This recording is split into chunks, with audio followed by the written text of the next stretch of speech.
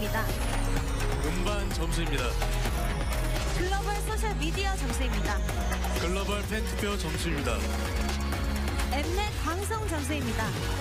마지막으로 생방송 투표 접수를 합산한 영광의 1위는 방탄소년단 축하드립니다. 네, 축하드립니다.